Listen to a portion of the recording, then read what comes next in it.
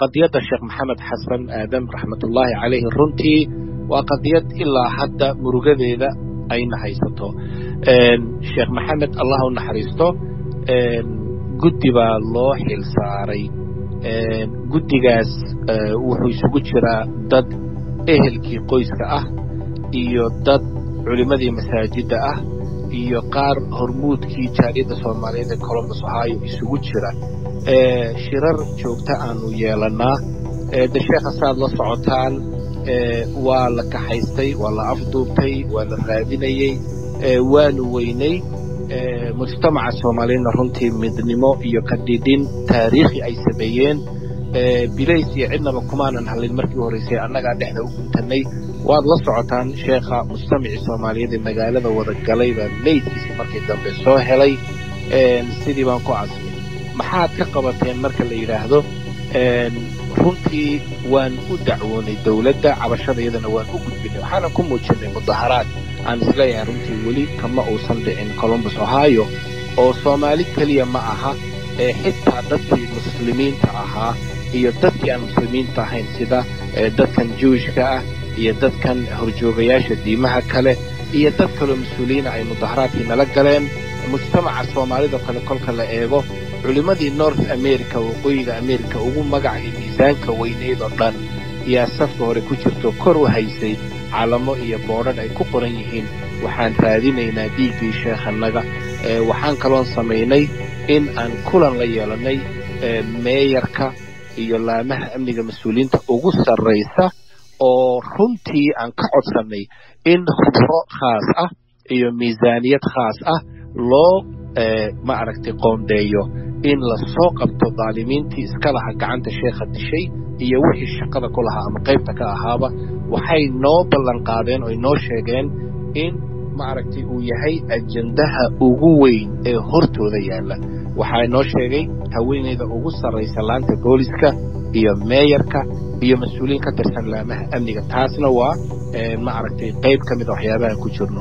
Waxaa jirta xitaa hay'adda keer ee u dooda xuquuqda muslimiinta in ay qayb ka tahay uu doodista dhiigga sheekha.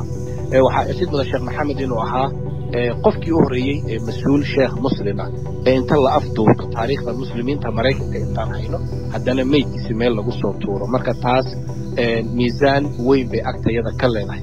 Waxyaabaha la qabtay waxaa ka mid ahaa in masaajidda waqooyiga america ku yaalla maraykan iyo kanada dhammaan jimcayaashii oo dhan loo istaago dhaqaale xoogla in la ururiyo loona qabta sheekha garyaqaano iyo dembi baarayaal kuwa ugu khibradda iyo aqoonta badana.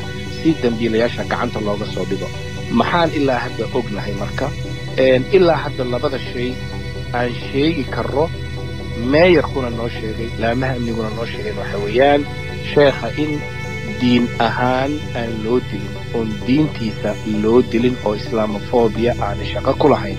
Waxay kaloo inoo sheegeen in cunsurnimo aan loo dilin oo midab iyo soomaalinimo aan loo dilin. Labadaasay noo sheegeen. Intaa wixii ka soo hadhana inay gacanta kula jiraan. Wakhti dhowna ay ku rajawan yihiin in ma aragtay ay heli doonaan xog intaa ka badan. Intaas weeye ilaa hadda meesha iyo xaaladda sheekhu meesha ay marayso idaacadahoo dhan iyo meel walbana waxa weeye aad baa looga iclaamiyey. Waanan ku tala jirnaa waxaanan idiin sheegayaa dhiigga sheekha insha allahu tacaala inaan meel saarna mooye in bulshada soomaaliyeed reer colombos aanay nasan doonin. Waad mahadsan tahay walaal waa su'aal waxaan is leeyahay qayim oo mudan in lagaba bilaabo. Magaalada colombos ee gobolka ohio waa sax waa meesha soomaalida joogta maraykanka ay ugu badan yihiin marka laga yimaado minnesota. Kolley wax walba sabab buu leeyahay. Sababaha kolley hadda la tilmaami karo ee bulshada soomaaliyeed ay meeshaa ku dooratay waxaa laga tilmaami karaa dhowr sababood. Mid waxay noqon kartaa dee marka laga yimaado dhaqankeennan reer guuraannimo ee markii qoys meel u guuro ay ku barwaaqoobaan ay dad badan ka daba tagaan taasi waa iska mid. Laakiin waxyaabaha la tilmaami kara kolley affordabilityga ama nolosha oo runtii jaban oo waxay soomaalidu miskiin koris yidhaahdaan oo qofka dhallinyarada ana iskuulkiisa iyo mustaqbalkiisa uu ku dhisan karo oon ahayn sida meelahan maaragtay california waxa lamidka ah waa mid waxaa kaloo iyadana la tilmaami karaa saynu ognahay haddaad dib u jalleecdo bilowgii sagaashameeyadii waagii clinton madaxweynaha ahaa waa tii xilligii dhaqaaluhu kobcayey waxaa la sheegaa in maaragtay ohio oo kale uu ahaa waxyaabaha shaqa la'aanta ama unemploymentigu taas waxay keentay marka in shaqooyin fara badan ay jireen oo runtii xitaa qofku isagoo noloshiina jabantahay shaqooyinkuna ay badnaayeen waa sababo markaa bulshada soomaaliyeed runtii meesha ay geeyaan la odhan karaa. Waxaa iyadana jirta waxyaabahan maaragtay locationka columbus aad la socoto dee soomaalida torontona way u dhowdahay oo meeshii canada ah xaggan virginia meel xagga ma aragtay marka la eego locationka ama centralityga waxaa la yidhaha meel dhexe ayay ku taallaa iyadana waa arrin meeshii ku jirta marka sababahaas baa waxay qayb ka yihiin waxay soomaalidii u timid. Kadibna markii la arkay jiilkii yimid oo dee ku barwaaqoobay soomaalidii kalena way soo raacday. Kolley intaasaa la tilmaami karaa hadda. Waa tahay waa mahadsan tahay. Marka dhibaatooyinka iyo caqabadaha ugu badan ee ay jaaliyadda soomaalida ee ku nool columbus iyo guud ahaan gobolka ohaayo ay wajahaan maxaa ka mid ah ama ay haddaba wajahayaan? Caqabadaha walaal marka laga hadlo waxay noqonayaan dhowr xaglood ama diirad in lagu eego.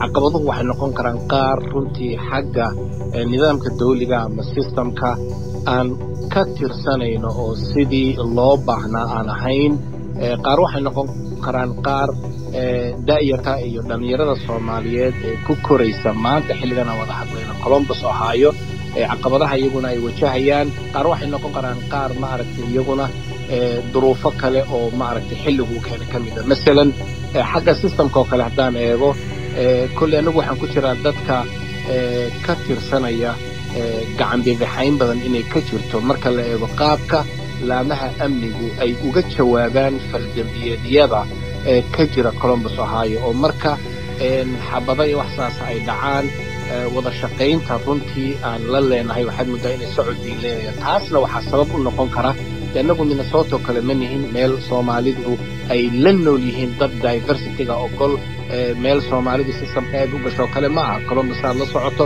shucuubtan ku nool waxay u badan yihiin dad maaragta aad conservative u ah waa meelaha xisbigan jamhuuriga ugu adag yihiin. Taas waxay markana dhexal siisay inaanay jirin mas'uuliyiin fara badan oo soomaaliyeed oo systemkii ku jira oo annaga iyo u dhaxayn lahaa ama dee soomaalidii markaa ka caawin lahaa waa qayb caqabaduhu qaar waxay noqon karaan qaar xilligu uu keenay. Taa markaan leeya waxaan ka wadaa xagga dhallinyaradan ka hadlaya. Masalan shan iyo toban sano ka hor waxaa dhallinyarada ay wajihi jireen caqabadaha afkaarta xag jirka ama inuu wiilka soomaaliyeed safro uu ku biiro ururo jir ah.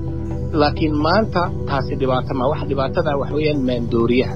Maandooriyuhu marka wuxuu keenay in dadka maandooriyaha iyo waxa ka wada shaqaysta ay noqdaan dad violencigoodu ama xabadahoodu uu bato maadaama wixii lacag lagu gala gato taasuna waxaan isleeya waa wax waktigu uu keenoon horey u jiri jirin laakiin hadda jira dhanka kale kolkaad eegto waxaan is leeyahay runtii waa meel soomaalidu ay sida kale nolol fiican iyo runtii horumar badanba ay ka keentay. Laakiin caqabadaha